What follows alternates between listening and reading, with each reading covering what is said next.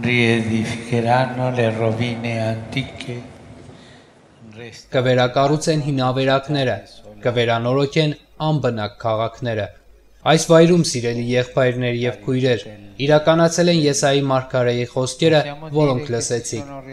Անաստվածության երկար տարիների հոգևոր կործանումից հետո, երկրաշարժի սարսափելի նյութական ավերածություններից հետո, այսօր գտնվում ենք այստեղ, Աստծուն շնորհակալություն հայտնելու, հավատը դավանելու ազատության եւ առատաձեռնության համար, որ բազում մարդկանց օգնեց վերականգնելու համար իրենց կյանքը հսկայական դժվարություններով հանդերձ։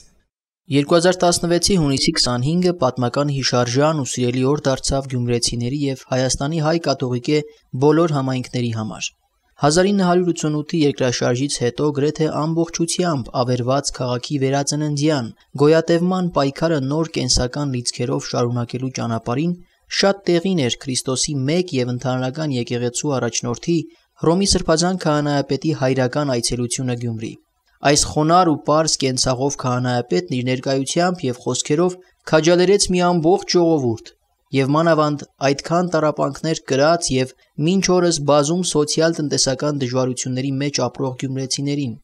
Իր հայրական սիրով քահանայապետը հավատքի եւ հույսի մեջ հաստատեց ոչ միայն հայ կաթողիկեներին, այլ նաև հայ առաքելականներին, ովքեր միասին տարել են համայնավարական հալածանքի, անաստվածության լուծը եւ այսօր էլ միասին որպես մեկ ընտանիք քայլում են հոգևոր վերելքի դժվարին ճանապարհով։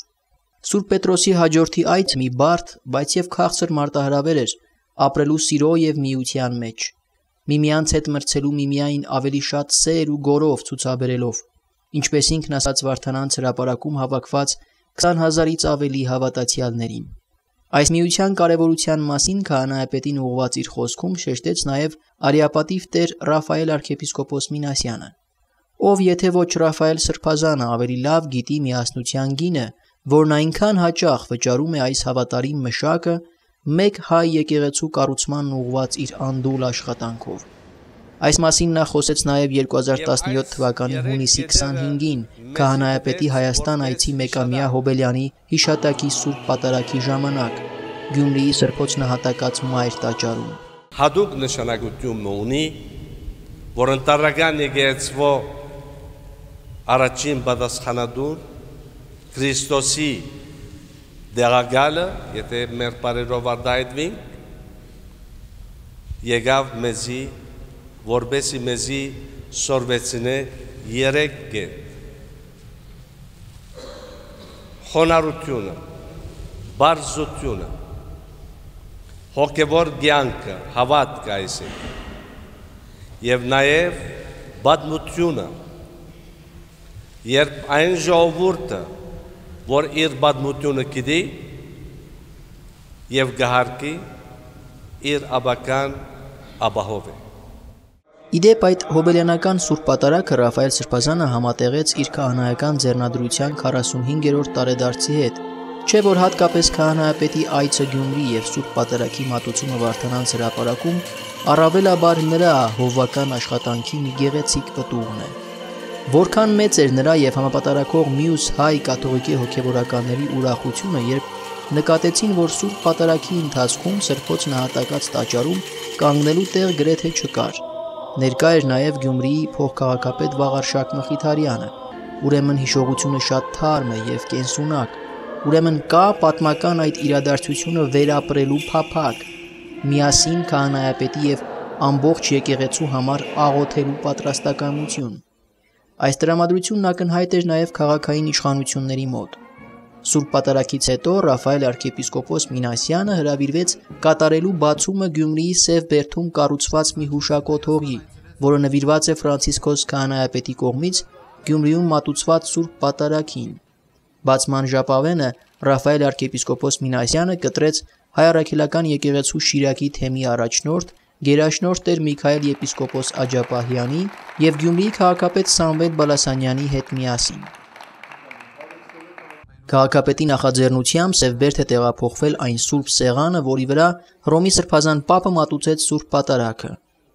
Սեղանը տեղադրվել է 2016-ի հունիսի 25-ի խորանի նմանությամբ մի տաղավարի տակ, որը վերածվել է յուրօրինակ մի թանգարանի։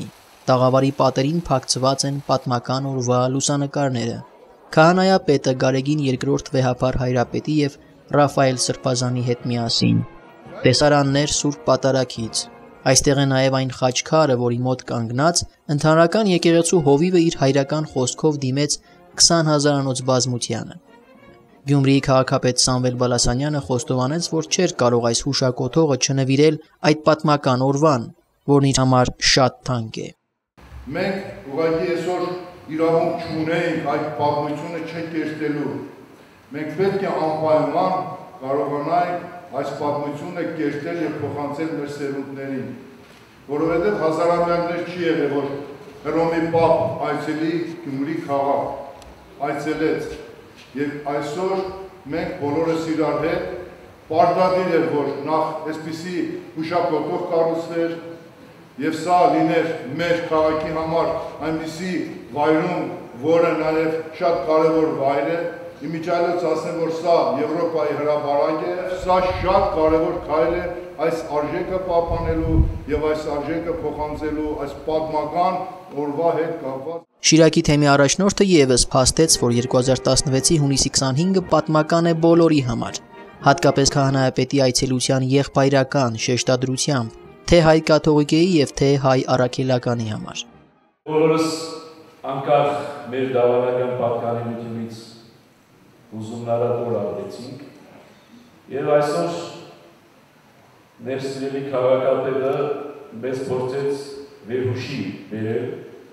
եւ մեկ տարի անց այսօրը այս հուշակոթողը բարձրացնել, որովհետեւ ոչ միայն մեկ տարի հետո, այլ նաեւ ընդմիշտ այդ հիշադակը վար մնա եւ հիշվի մեր ժողովրդի մոտ դարձյալ ասում եմ անկախ դավանական պատկանելությունից, որովհետեւ Հռոմի սրբազան քահանայապետը չեկա միայն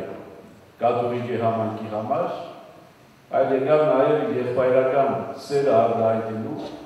առաքելական եկեղեցու դավանող եւ առաքելական եկեղեցու հետևորդների մեծ բանակի։ Այնպես որ այստեղ իմ եւ քոյի խնդիր գոյություն չունի։ Երևաբար այս իրադարձությունը, որ մեկ տարի առաջ տեղի ունեցավ, բոլորիս իրադարձությունն է,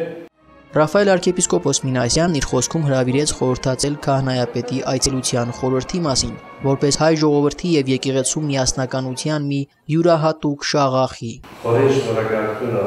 պարոն քաղաքապետին, որ այս առիթը դրեց մեզի, որ շարունակենք այդ հիշողությունը այդ խոնար, բարձ, սրբագերցա սրբազան քահանայապետին, որ մեզի հաճեցավ կա իր սերը և կուրկուրանքը հայրնելու, մենք որպես առաջին ասկ Քրիստոնյա հայր։ Գոհոսան մաղթանքս է բոլորին, որ այդ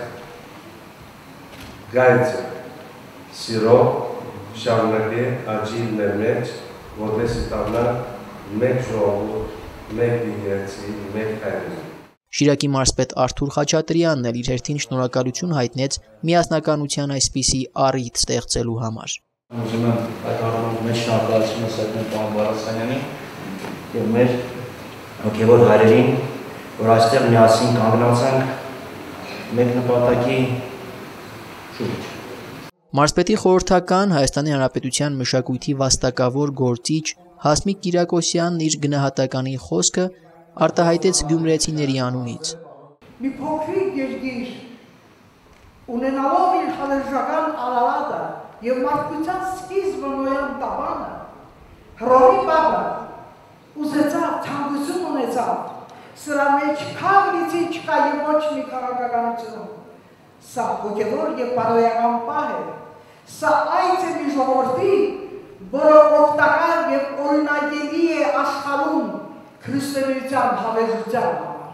Գյումրիի Սևբերդը, որն աստիճանաբար դառնում է քաղաքի մշակութային մի կարևոր կենտրոն, այս խորանաձև հուշակոթողով այսուհետ իր այցելուներին մշտապես կհիշեցնի Քրիստոսի ընդհանրական եկեղեցու խոնար առաջնորդի պատմական այցելության մասին։ Մի հիշողություն, որն ինչպես դիպուկ կերպով բնորոշեց Միքայել եպիսկոպոս Աջապահյանը, բոլորինն է անկախ դավանական պատկանելությունից։